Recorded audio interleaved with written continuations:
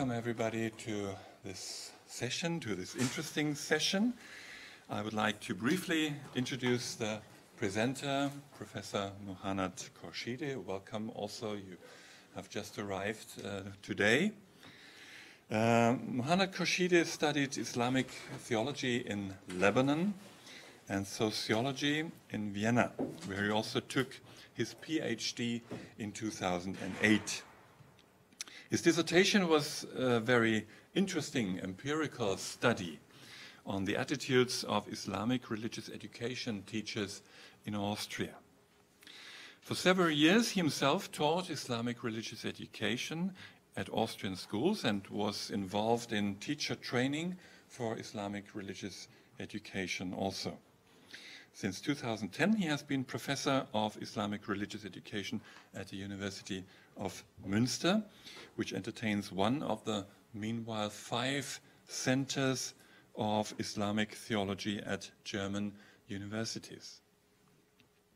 Professor Khorchide has published a number of important books, among them in English, Islam is Mercy Essential Features of a Modern Religion, published in 2014. And up to now only in German, but hopefully also coming up in English. Uh, God believes in humans with Islam towards a new humanism. So you will see from these titles um, that he is a very progressive uh, Islamic theologian and um, hopefully contributing uh, to the further development of Islam in Germany.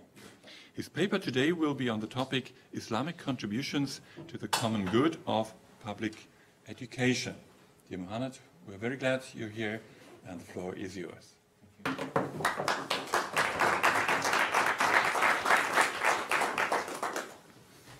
Thank you, Manfred. I uh, already told Manfred I will need uh, 40 minutes, not 30 minutes.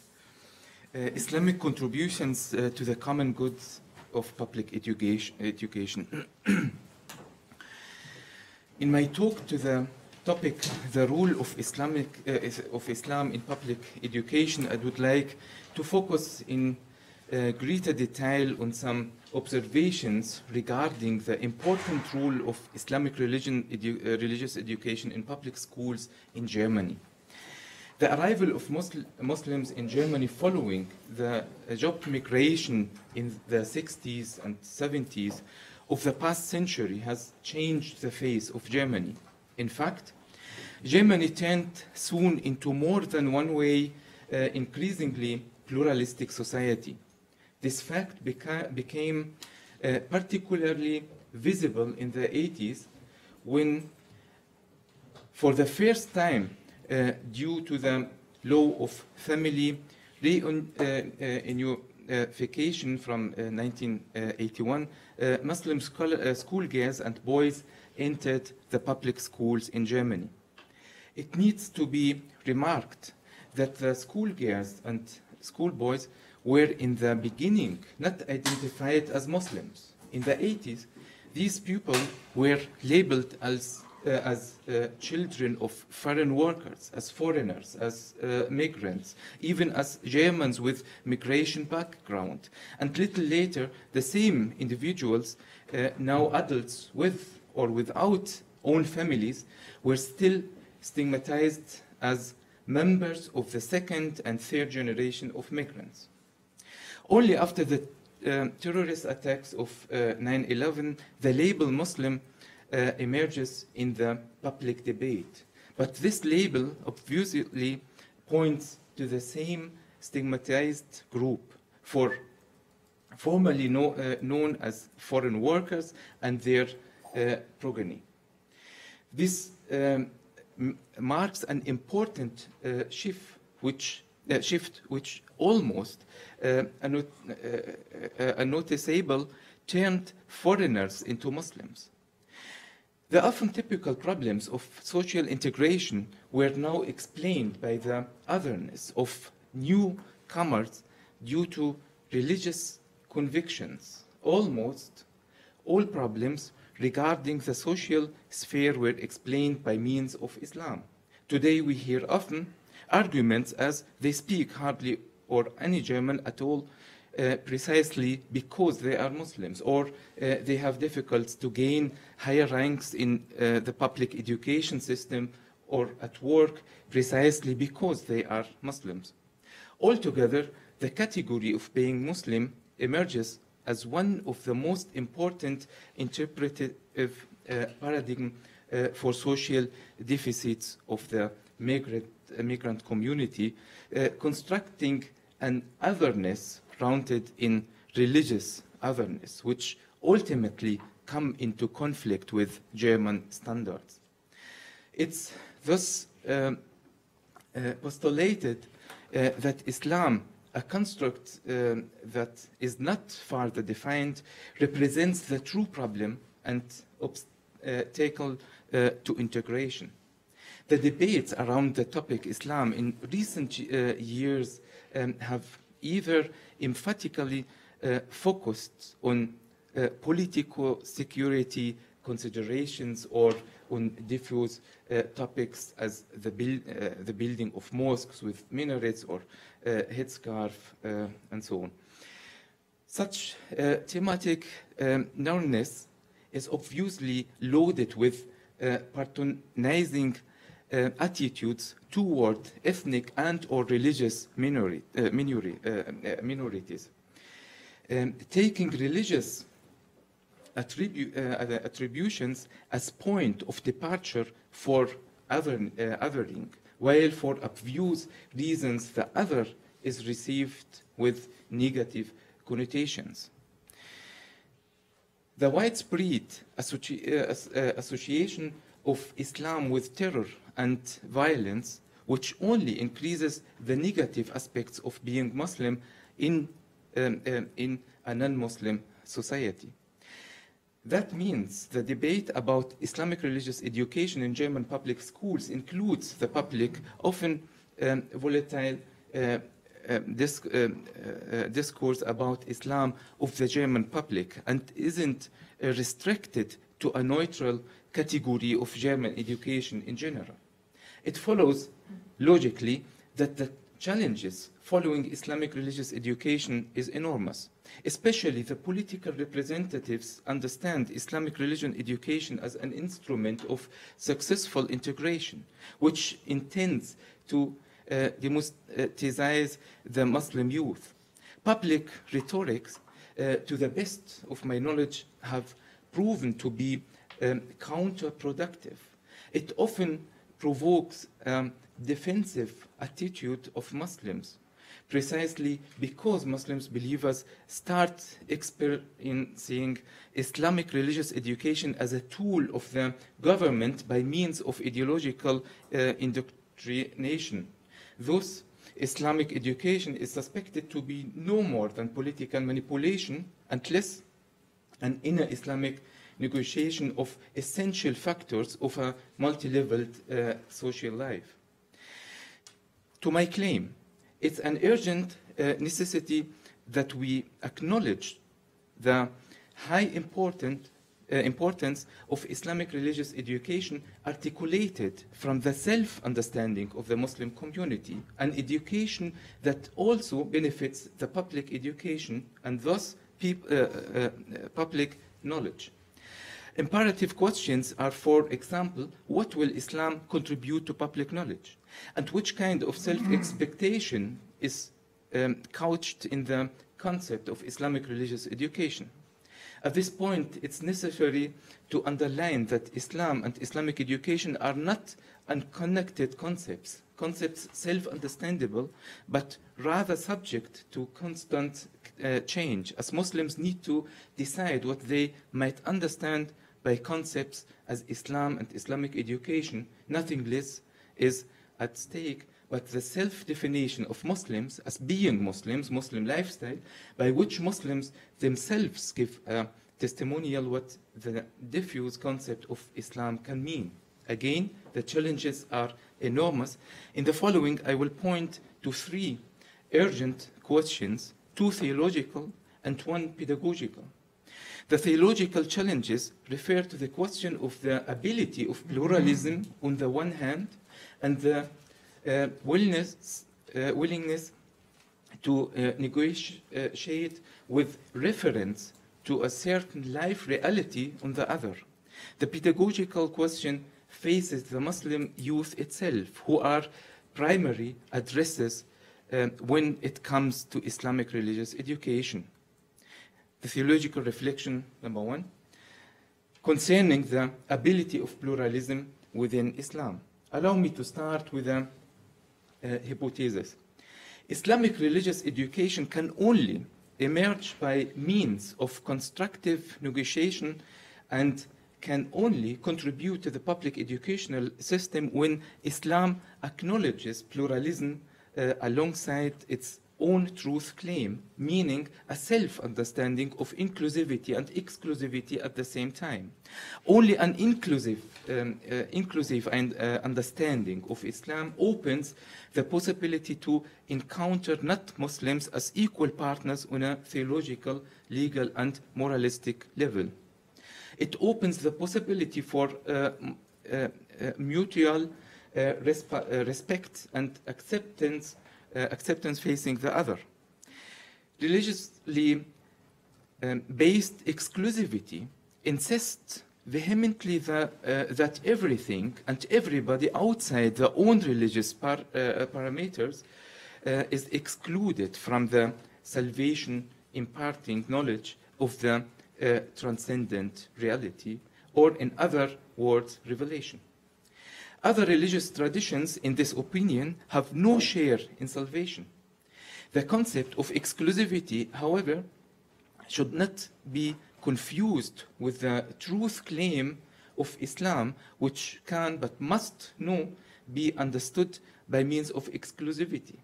Even if I, uh, if I consider my religious to be the path to truth, and to win my religion's uh, careers and uh, unquestioned truth claim, I don't necessarily deny the possibility that there might be other ways to truth. Integrating such an idea would not mean that I, I place my own truth claim at uh, disposal. On the contrary, an exclusivist understanding of the truth claim uh, would ultimately also trigger violence because if we um, if we won't deny, if we, uh, if we, um, uh, uh, because it would deny other religions claim to truth or even their right to exist. According to the Quran self-understanding, such diversity, even confessional diversity, is uh, intended uh, by God, uh, God. At example, here, chapter 5, verse 48, had God willed, he could have made you uh, one community or one confession. This surah is, by the way, revealed towards uh, the end of the Quranic revelation when Muhammad was at the peak of his political power. According to Quranic self understanding, God uh, alone is the truth, al haq, and therefore truth is rendered absolute. But, uh, but at the same time, no human has truth at his or her command. The human cannot have truth at his or her command as he or she cannot have command over God. But the human must be understood as a seeker venturing uh, for truth. One can approach the truth, but one cannot own, uh, own it uh, ultimately. The statement that God alone is truth saves the human from idolatrous um, appropriation and ultimately calls for modesty in remaining a seeker of truth. Again, truth can never uh, be owned in full, but it can be approached little by little. To oppress absolute truth uh, claims uh, contradicts for uh, obvious reasons an inclusive understanding of Islam, which in turn grants the human with freedom. In general, to critically engage in a fruitful uh, uh, interreligious dialogue um, means that all parties must waive exclusivist truth claims. This doesn't mean that a party has to away with its respective truth. On the contrary, the individual truth claim counters the path to be ventured by means of truth. The path uh, turns into one of many highways to approach truth. History proves time and again how uh, Illinois' paths of uh, uh, totalitarian truth claims have changed the face of the earth and how they have absurd religious traditions, how often an exclusivist understanding of religion and ideology has led to violence. The approach that claims that also other religions besides Islam sharing uh, salvation, imparting knowledge, and the realization of a divine reality must be understood equal to Islam can be uh, traced back to the thought of Mahmoud Ayoub and his hermeneutical approach in the Quran. Ayoub, probably the most important living authority in the field of religiously based pluralism, claims that the Quran itself demands religious pluralism. According to him, plurality is uh, commended by God. He bases his argument on the Quran itself for example, uh, chapter 2, uh, verse 62, and chapter 5, 69, uh, both promise salvation to Muslims and non Muslims alike. In eternal salvation, also uh, Jews, uh, uh, Christians are included. Ayoub's claim, however, goes far beyond the reali- realities acceptance in Islamic history. He claims that especially the above verses of the Quran challenged Muslim royalty, uh, ju- uh, jurists, um, um, and political uh, theorists and uh, confronted them with the crux interpretum uh, concerning uh, juridical and political matters. And precisely for similar ideological reasons, most interpreters of the Quran neglected the uh, central, um, uh, central uh, teaching of Islam. Similar of Ayoub's argument, uh, argu- uh, arguments, one can call to mind the Pakistani scholar Fazlur Rahman, who, did, uh, who died in 1988. Rahman emphasizes that Muslims exeget, um, exegetes um, had um, misinterpreted the Quran concerning the question of pluralism. On Quran 262 or 569, it goes, um, Lo Muslims and Jews who are uh, uh, Muslim, excuse me, Muslims and those who are Jews and Christians and Sabians, whoever believe in God and the last day the, um, and do right, uh, surely their rewards is with their Lord, and there shall no fear, uh, no fear come uh, upon them, neither shall they grieve. Rahman writes that Muslim commentators had had um, carelessly disregarded these verses and their theological and their theological implications. These can be uh, summarized as follows Those members of humanity who believe in God and the last day and uh, do good works will be saved. But Muslim commentators had manipulated the uh, mis- um, and, and, misinterpreted the verse, giving a new meaning to it. Jews, Christians, and Sabians have become Muslims beforehand in order to be saved and uh, an interpretation that according to Rahman is excluded by logical argument because Muslims would only be one group of those who believe or the Quran would only speak of the God Jews uh, good Jews, Christians, and uh, uh, Sabians, which had lived long before the rise of Islam, and interpretation that Rahman um, regards as an even more absurd tour force. For Rahman, the question for, uh, of the relation between Muslims and not Muslims is together with women's rights the most pressing challenge within Islamic thinking in modernity. He thus tries, uh, uh, tries to uh, understand the Quran in a different light, a light which he sees um, from enlightening with all implications It's well known that the Quran talks fr- uh, frequently about uh, Jewish and uh, uh, Christians uh, and also uh, Sabians. On the ba- basis of a number of Quran verses, these groups of believers are accepted by Islamic tradition as the so-called Ahlul Kitab, people of scripture, a term uh, eventually broadened, uh, uh, uh, broadened to include also uh, Zoroastrians and uh, Hindus, however, without rights of full equality uh, and acceptance. This is also reflected in the legal structures of some Islamic countries today where uh, Jewish, Christian, and um, uh, Zoroastrians uh, can freely practice their religion, but are degraded to subjects of second-class members of society. They are excluded from quite a number of rights which are self-understandable for Muslims. The answer of the Quran to exclusivist uh, claims of Jewish and Christians demands, according to Rahman, no interpretation. Guidance is the sole task of God.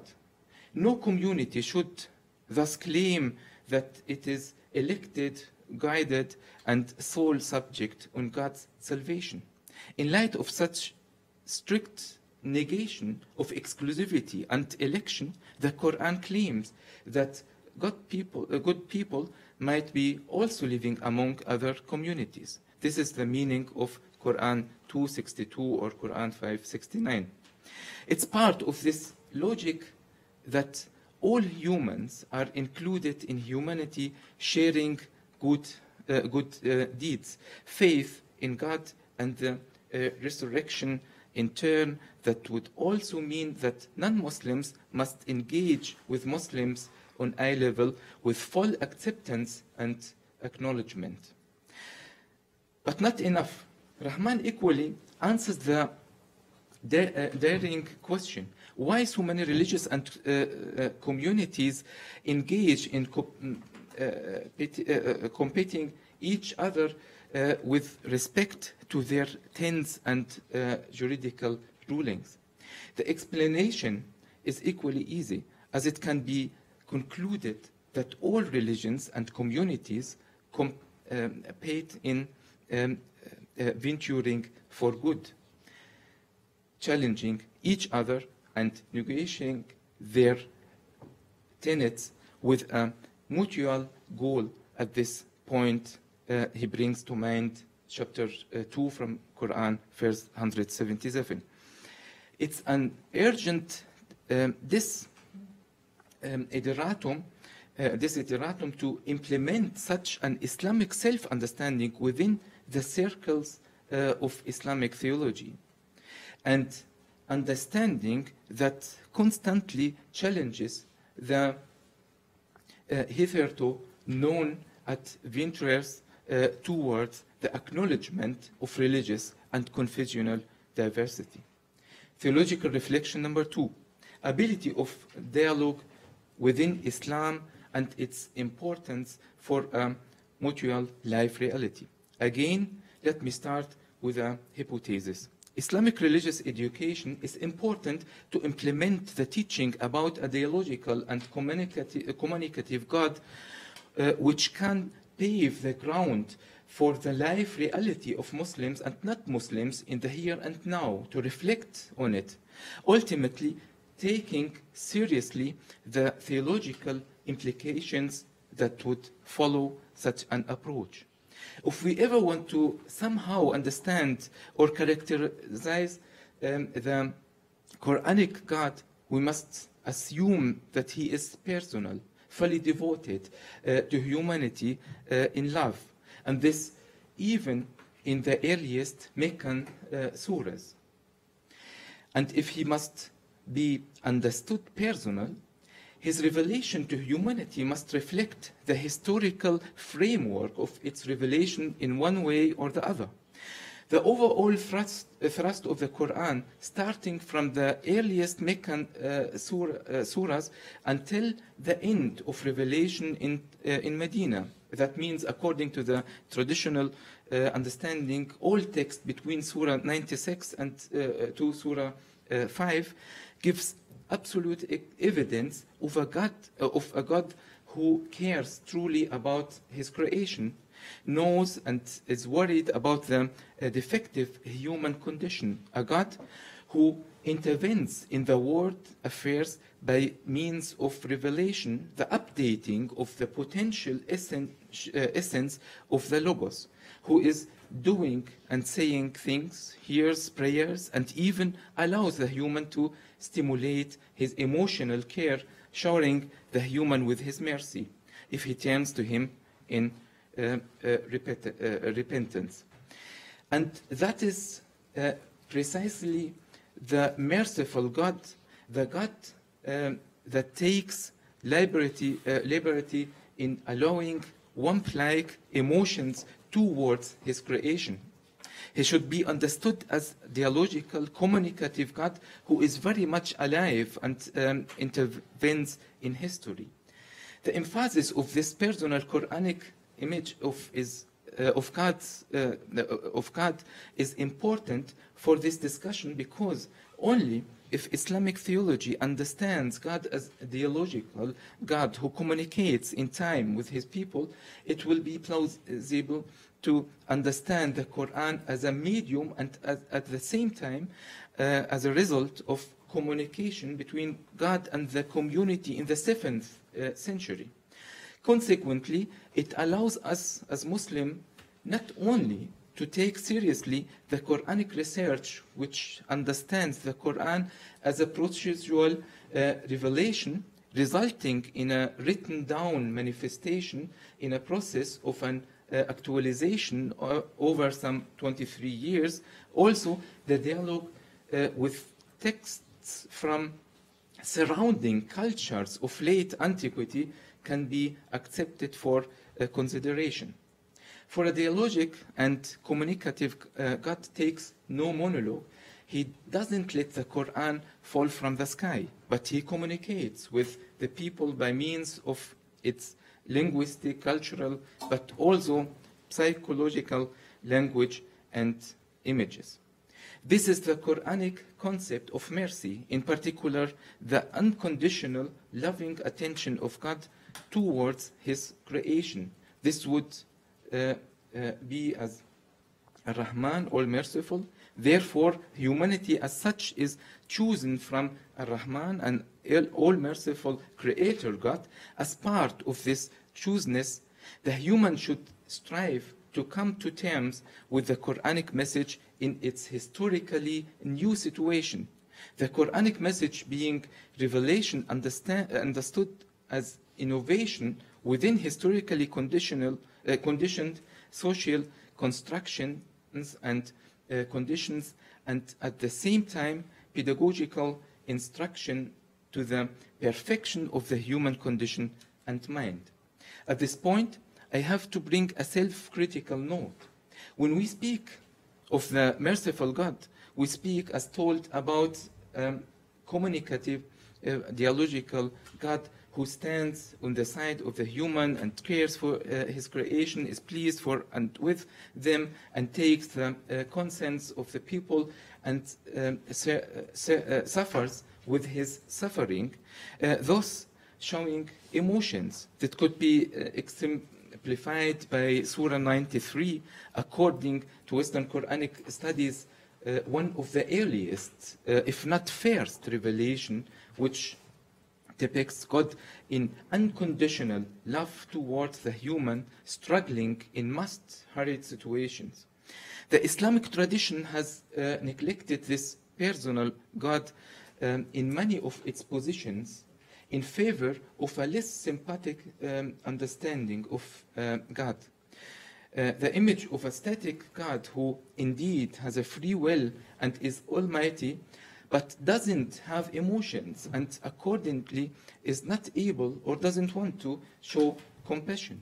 This idea of the never changing, cruel, and uh, jealous um, God uh, cannot be uh, extrapolated from the Quran, but was rather read uh, into it in, in form of eisegesis, and this especially in the light of certain philosophical assumptions about the nature uh, of uh, God, especially the uh, Islamic reception of Plato and Neu, uh, Plato, which we have uh, still uh, still have till today in the Islamic theology.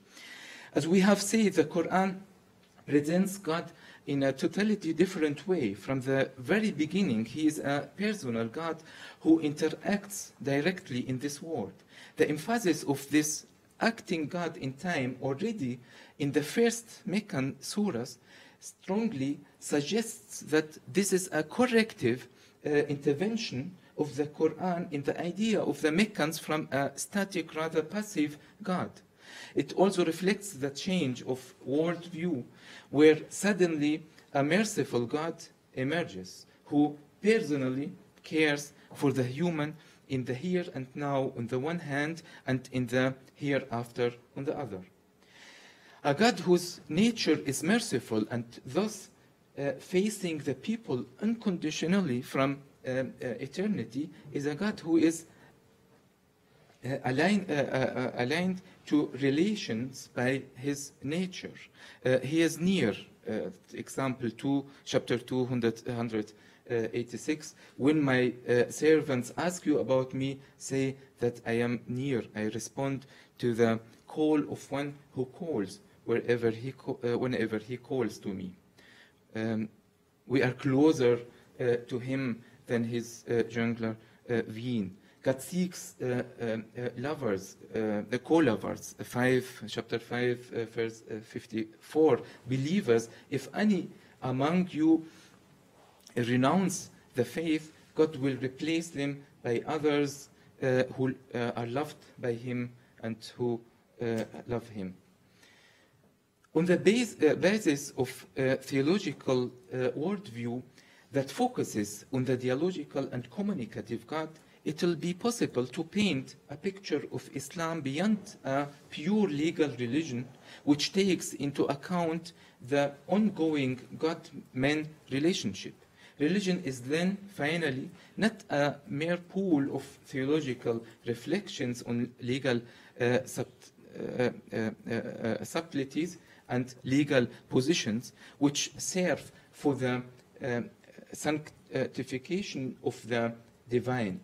Only then it will be possible to free the human from the uh, cuffs of uh, passivity and erect a religion which serves the spiritual, ethical, and individual needs of the human individual. It finally will bring forth the human responsibility towards society. Now, the uh, last reflection, the pedagogical reflection. Young Muslims and religious identity. Especially members of the so called second and third generation of Muslims migrants in Germany have a strong connection to their present life contexts and uh, societies they live in. Uh, they live in. The abyss uh, separate, uh, separating them from the homelands of their fathers and forefathers is uh, extensive.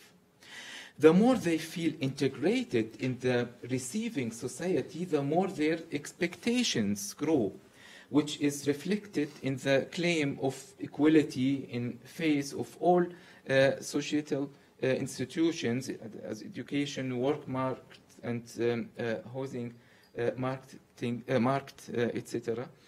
Um, and equally strong the claim for acceptance and acknowledgement. The importance of religion is in the second and third generation extremely multifaceted uh, and differentiated. This can be explained by the fact that these genera- generations are placed in a greater uh, uh, societal uh, tension, language, and uh, town identities balancing between the original society of their fathers and uh, forefathers and their receiving society. Therefore, they are drawn often towards religion serving as a possible uh, co- uh, coping strate- uh, strategy. The expectations of the Muslim youth are enormous. in this country where are born and uh, raised, they seek secure ho- home, which would also mean to providing equal chances in education, at work, possibilities, etc. But at the same time, many of them also seek a spiritual home in which they can freely develop as accepted member, members of society. The more these expectations are not met, especially in forms of discrimination, the more uh, uh, uh, surrogate uh, conflicts emerge. Many young Muslims are seeking reactively towards the ongoing discrimination a more secure we feeling, which gives room for reflecting on religion. This drawing uh, back towards religion, I would call shell identity, Schalen identity. For the construction of a firm collective identity, many young Muslims turn towards an empty Islam. The Islam which they live must be uh, compared to a shell. Uh, deepened uh, identification uh, with Islam without a firm base in Islamic theology will ultimately lead towards a deflating religion. This is, this is due to the very fact that the identification with Islam is a surrogate effect. This form of a religion doesn't seek for uh, spirituality, uh, doesn't seek for uh, cleaving to the divine. It is not concerned with meaning, but is uh, uh, solely uh, focused on the outward identifying elements in form of facade. Religion, for them, means con- cons- constructing a collective identity which grants a secure um, uh, territory within the overwhelming, uh, uh, the, uh, overwhelming um, uh, feeling of otherness. Shell Muslims, as I would uh, call them, base their identity of empty and remote elements of identity. Often youngsters have a strong feeling of otherness, uh, representing the unwelcomed and disadvantaged uh, foreigners. It's the concept Islam that grades, uh, uh, grants them stability, that serves as important um, hang between youth with migration background of same origin and uh, religion. Religion finally grants them a feeling of security in a hostile world. It is obvious that such identity constructions must be understood as reactive, reactive to the expectations of their families and uh, communities on the one hand, and reactive to the lack of acknowledgement uh, molded in the uh, Eh, eh, eh, negligent um, uh, behavior of the majority, majority culture. Especially this point underlines that this form of identity is more an attribution of the other and to much lesser degree a development, uh, development of an autonomous um, identity. Finally, when young Muslims have to um, delineate uh, what uh, describes them as Muslims, they tend to describe what they are not. Their identity is far less governed by positive uh, assertions. The identity shift of second and third generation of migrants, which I tried to describe above, calls to action. High expectations are confronted with, uh, are confronted with a failure to meet these uh, uh, expectations. This failure leads to an over uh, emphasis of cultural differences and um, e- uh, uh, uneasy identity constructions. Difference are emphasized, um, abuses seen unbridgeable. Shared value are negated uh, and downplayed. A shared religious past is equally neg- negated and downplayed. The religious concept of pluralism is much less able to attract uh, the youth, even if it is um, firmly grounded in the Islamic tradition itself. Religious otherness is what they aim after. And it's uh, precisely here where an exclusivist view of the Islamic religious draws, uh, draws them uh, into its uh, gravitation. This all being said, it's an urgent um, desideratum that we reframe so, uh, societal um, uh, conditions in order to enable Islam to emerge as a partner in the public debate about education and not only Islamic education. Only on the condition of a reframed society, Muslims can emerge as equal partner in the mutual uh, goal of Europe's um, uh, uh, uh, destiny, uh, Europe's destiny.